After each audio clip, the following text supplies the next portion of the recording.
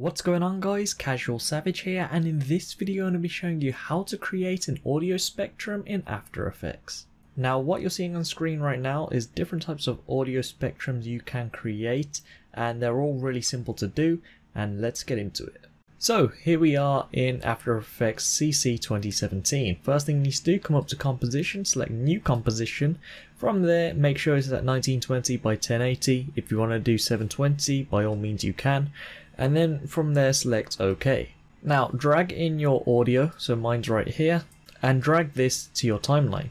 So the next thing we need to do is create a solid, and the way we do that we come up to Layer, New, and select Solid. From there just select OK. Now this is going to be dark grey, and this is where we're going to be creating the audio spectrum. So selecting on this dark grey solid 1, what you want to do is come up to Effect, select generate and from here you're going to see there's two types of audio spectrum. There's audio spectrum and there's audio waveform. So this is what audio waveform looks like. Um, but if I go across, nothing is happening just yet. There's no reaction. So what you need to do where it says audio layer, you want to select one and you want to make sure it is selected to your instrumental or your music. So now that is selected to my music. So if I play this through now, you won't be able to hear it, but this is how it will look. So you can see this is the waveform. Pretty old school zigzag. And then the other one I'll be showing you, effect generate, is audio spectrum. Of course, this is the one I'm going to be using. This is how it's going to start off. And again, we need to make sure the audio layer is selected to our music. And if I come across a bit, you can see as we are playing the music, this is reacting up and down, not just in one place. So you can see there you go. So this is the one we need to create the audio spectrum. I'm just going to run through everything on the side down here so you get a better understanding. If you don't care and you just want to get straight into the settings you need to use, then by all means skip to the time that I put on the screen right now. But anyway, of course, the first thing is the audio layer. So this is where you would always need to select your music you're going to be using. So this one right here is for me. You, of course, will have something else there. And now as for the start and end point, this is basically positioning it and sizing it. So if we move this one, you can see we can make it smaller or we can make it bigger. And same for the one below it, which is the end point, we can make it bigger or smaller. It's all personal preference, there's no actual correct thing on this part. And then we also get control of the y-axis on either side. Next is path. So currently it says none, but if we get the pen tool and I just draw out uh, this for example, we can now select path and select mask 1 and the audio will now react from this path. So you can see it right there. So you can be pretty creative with that. You can make your own audio spectrum.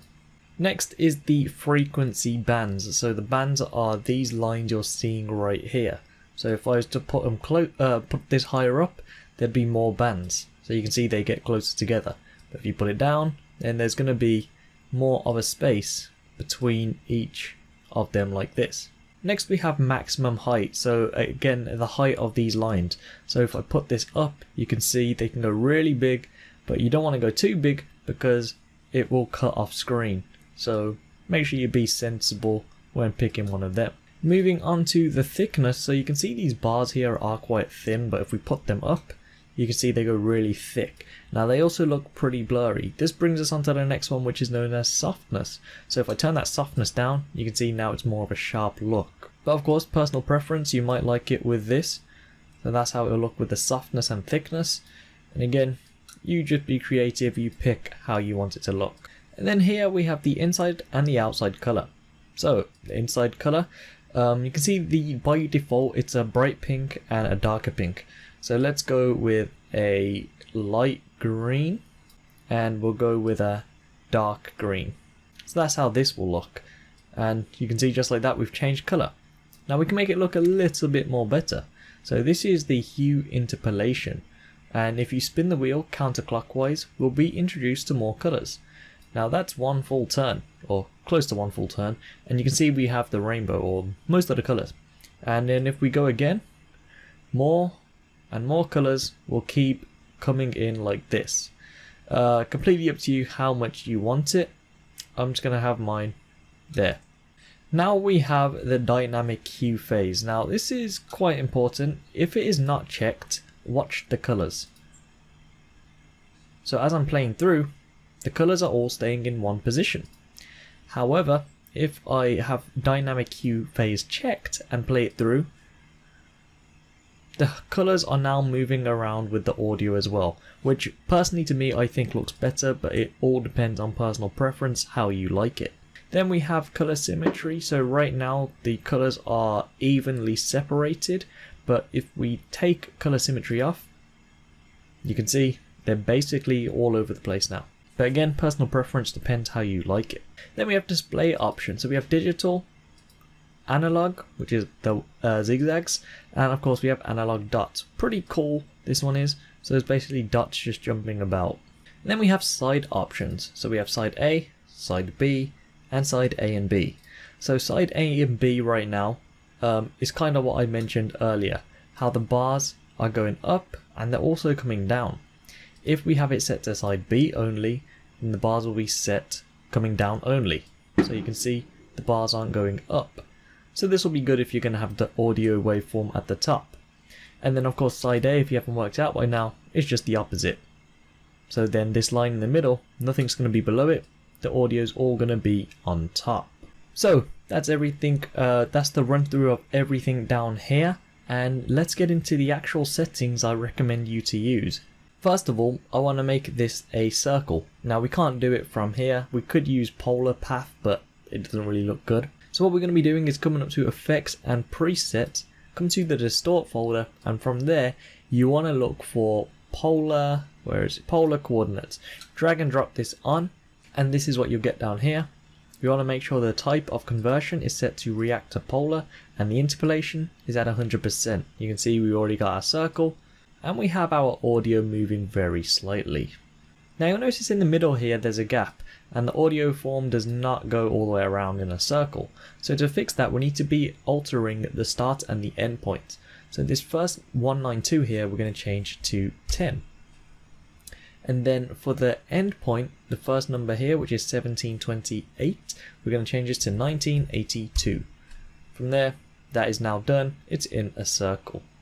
Now moving on to the start frequency, I recommend 10 and as for the end frequency, I recommend 500. Frequency bands is completely optional. What I like though is 75, I think that's a really sweet spot. Again, it depends um, how you want it to look. Then we have maximum height. Again, this is going to be completely optional because depending what type of music you have, these uh, bands will be flying off screen. Uh, and it also depends how big or small you have your audio spectrum. So you can see um, there are some loud parts in this song. For example, right there you can see how loud them audio spectrums are. Um, it's coming in quite a lot, but for me 6500 is what I'm going to keep it at.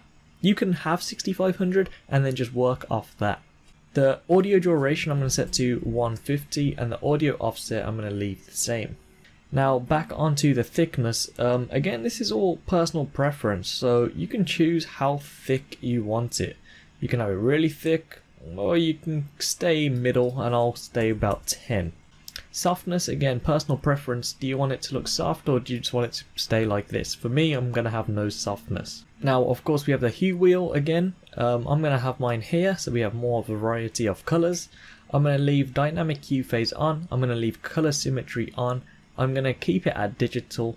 Except for side A, I'm going to change to side B. What this is going to do is going to make these lines from the inside come to the outside. So that's the standard way how you usually see it. So you can see like that.